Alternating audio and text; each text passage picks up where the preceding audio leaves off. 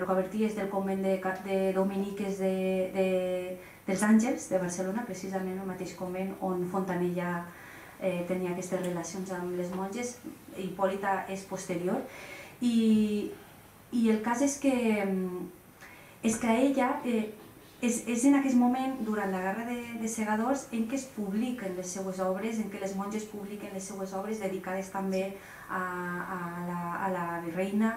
I el cas és que és com... He intentat veure fins a quin punt s'instrumentalitza la, la figura d'Hipòlita com a símbol de catalanitat, però és un element que encara jo crec que podríem explotar és un element que es podria explotar.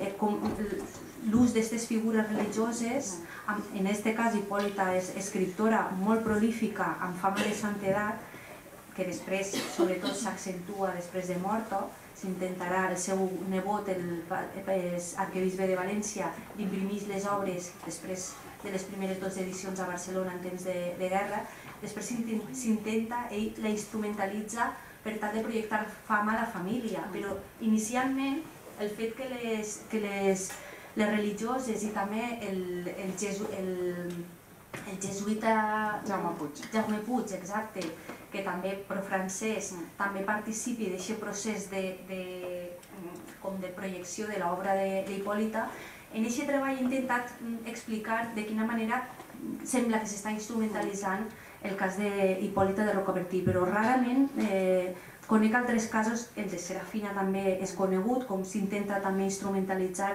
cap a la causa eh, catalana, perquè d'alguna manera s'estan buscant casos de dones eh, amb, amb fama de santedat, no? que representen aquesta catalanitat i que trobem en altres eh, eh, figures masculines associats a la ciutat de Barcelona com eh, Penyafort, etc. Mm. És, és un, són temes que encara s'han d'investigar. A propòsit d'Hipòlita de Rocabertí i sobre el locutori, que és una bona excusa, si em permeteu, eh, parlàvem d'amors de monges i parlàvem de devots de monges com a tema literari, com a, com a fenomen de la realitat, però fixem-se fixem que Hipòlita, una de les queixes que, que apunta en la seva obra, ella té uns tractats dirigits, són tractats també de, de moralitzants, i, i té un, té, ja arriben a publicar més de 25 volums, és una autora molt prolífica.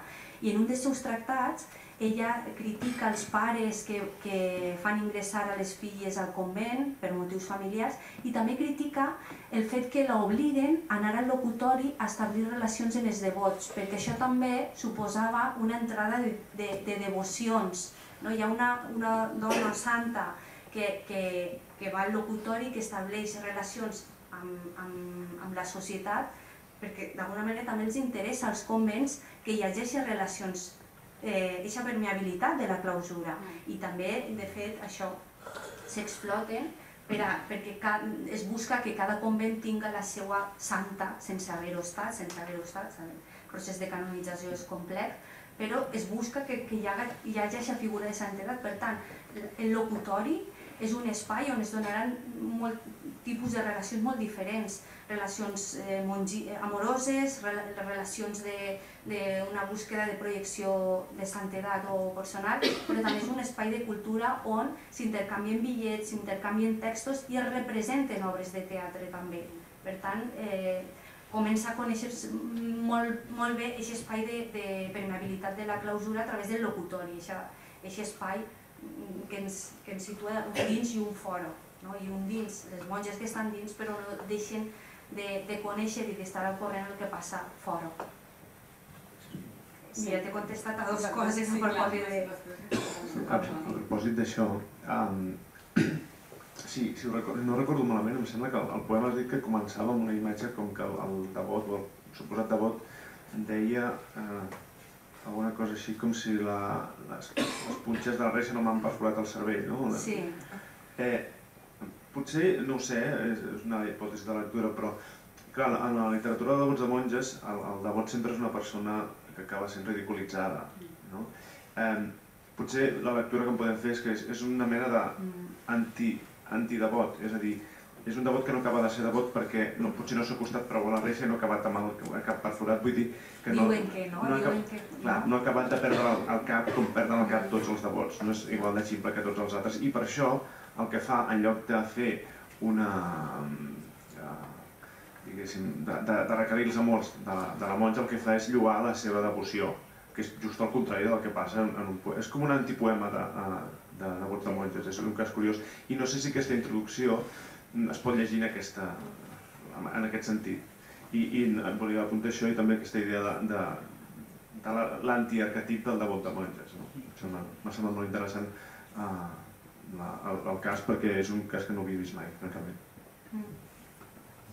Sí, moltes gràcies, Mar. És una interpretació molt interessant, sí. Perquè a més no deixa de... Així to sorneguer i així expressions de caire popular també indiquen una mica que va per ahí. Sí, moltes gràcies, Mar. Jo només una, una cosa, quan, quan estaves projectant el, els textos aquests de 1612 jo estava pensant també en el llibre de Josep Capdeferro, o sigui que jo crec que podríeu ser les dues a fer un cafè i ja trobaríeu més una connexió perquè quan l'he vist que el projectaves he pensat efectivament això ha d'anar per aquí. Alguna relació és possible que, que tingui, atesa bueno, atès tot el que estava passant en aquell moment eh, amb les cases beneïdes, etc etc.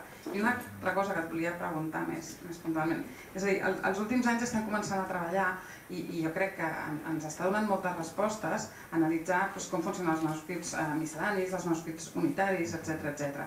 I m'ha semblat que has fet un exercici eh, d'analitzar el, el, el, el volum imprès de, del, o sigui, la, la relació que tenen entre ells els plecs que estan relligats junts en el, en el volum aquest de la British Library, perquè no sempre eh, és ordre cronològic, sinó que moltes vegades és ordre dramàtic. Mm, no sé si, si, si has treballat en aquest sentit o no. No, no ho he treballat a fons. No. Però eh, eh, que em parlaves de dos que estaven junts? O jo ho he entès eh, malament? Eh, no, és, eh, no, no estan junts, eh, ah, eh, són, són de la mateixa, del mateix any. Ma. Eh, però a mi em dóna la impressió que primer, primer és que no, no m'hi he fixat, la veritat. No, no, no, no he mirat la seqüència, ni, ni l'ordre, ni, ni les coses aquestes. Però de vegades pots trobar coses i de vegades et sorprens de, de com està ordenat i, i costa de... però sí, sí, sí. I, i el que comentes de Tallaferro, doncs ja, ja m'explicaràs, perquè la veritat és que no, no sé... Bueno, ja, ja en parlaré. Ja en parlaré, ja en parlaré. Moltes gràcies.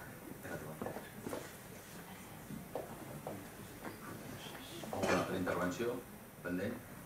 Animeu-vos que queda poc. En tot cas, tampoc no us voldria cansar. Jo tinc preguntes per tots dos, però ja els faré personalment, eh, perquè s'acosta l'hora que per començar la següent sessió jo crec que demanaríem que ens deixéssiu alguns minuts per, per reposar, respirar i tornem, si et sembla? Eh? eh en tot cas sí que faré una constatació, hem estat tancant la sessió, perquè allà per allà hi ha futurs filòlegs, no? I perquè sàpiga els filòlegs que s'enfrontaran als textos antics que han de saber moltes coses, com s'ha demostrat en aquests dies. S'ha de saber llengua antiga, naturalment, s'ha de saber eh, mètrica, s'ha de saber retòrica, s'ha de saber el pensament de l'època, la lectura dels clàssics, s'ha de saber tenir coneixements bíblics, coneixements teològics, del vestiment de l'època, l'altre dia parlàvem d'una faldilla oberta, de numismàtica, de tècniques de falsificació, bé, de moltes coses, no només llegir un text. Moltíssimes gràcies a tots per, per aquesta sessió i sobretot per aquesta part sempre més rica de qualsevol congrés. Les exposicions estan molt bé, però el que enriqueix en els que les fan i la resta del públic són el debat i les preguntes. Moltes gràcies.